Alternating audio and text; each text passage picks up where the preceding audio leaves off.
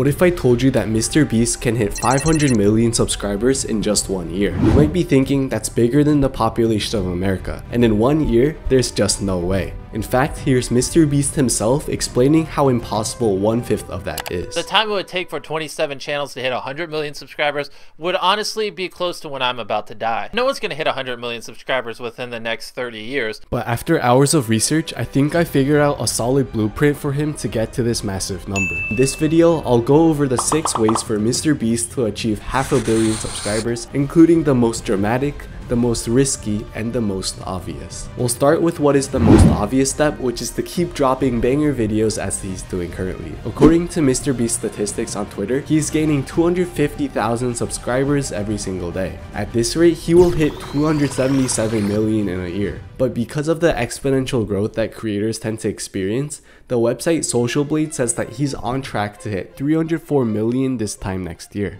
Well, we still have a massive 200 million to cover. It would take a crazy amount of dedication and planning to overcome this gap. But while researching for this video, Mr. Beast tweeted out a crazy plan that would absolutely change the trajectory of his channel. You see, he's uploading pretty infrequently as of recording this video, about once every 3 weeks or so. But he said he is currently stockpiling videos so that starting in October, he can upload every single week.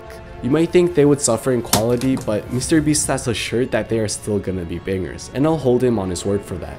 If he does this, it will dramatically improve his channel growth. He can pretty much triple his daily sub gains eventually, and doing some math, I found that he can add an extra 92 million subs to his tally. This brings his total to 396 million, and any nerds out there watching this, feel free to check over the math in the description. Alright, so now we're at this mind-boggling number, which is greater than how many times you blink in 60 years. So we're dealing with unimaginable numbers right now. But when I was watching him hang out with PewDiePie in Japan, I realized that he still has room to grow his audience. Early in his career, Jimmy experienced a massive boom in his channel by keeping T-Series from overtaking Felix. Fast forward to today, it looks like history is repeating itself, except this time, it's Mr. Beast who is fighting for the top spot. As he approaches closer and closer to becoming number one, I'm sure other creators are gonna try to capitalize on this opportunity, just like Jimmy did back in the old days by helping PewDiePie beat T-Series the entire YouTube community can band together in order to help Mr. Beast, a homegrown YouTuber who started off by making Minecraft videos in his bedroom. I'm gonna show you how to grief a world without getting caught. Take the crown from a corporate media giant. PewDiePie gained almost 30 million subscribers in the span of 6 months from October 2018 to April 2019.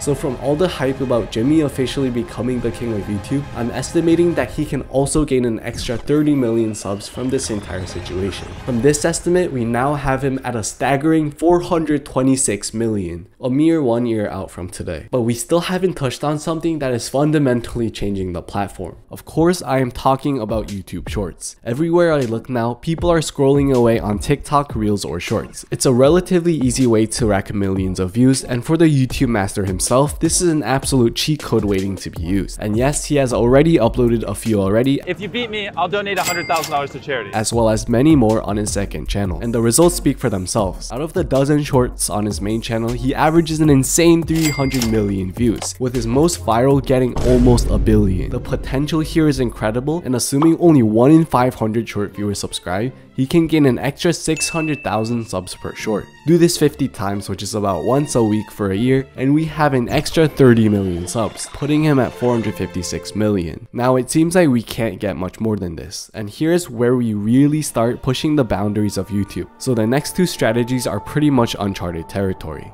To say that they are risky and unrealistic would be an understatement. But it's fun to speculate about someone like Mr. Beast who literally blows people's minds for a living. Like that one time he broke the app store by releasing finger on the app. Simply put your finger on your phone and be the last one remaining to win 100 grand. Sounds simple enough, right? However, this project was met with significant backlash as many users reported glitches, missing out on the chance to win a life-changing amount of money. But hold on a second, even though this project was not the most well received, I think mobile games like these with large cash prizes have a huge amount of potential. For example, he can make an app similar to Flappy Bird where the last one remaining wins a huge amount of money. And of course, you have to be subscribed to the channel to participate. Wait, why stop there? Maybe he can drop another app that literally pays you to subscribe, such as $1. He can also do affiliate marketing, allowing you to send a link to your friends so you both get paid. Yes, this might get really expensive as you would probably have to pay millions of dollars, but he can try to find a sponsor or simply adjust the prices later on. Without uploading a single video, I think this is an effortless way to get eyeballs on his YouTube empire. Let's assume that making apps like these will land him 25 million subscribers, which puts him almost at our finish line at 481 million. Alright, so we're actually pretty close, but we still need to close the gap, right?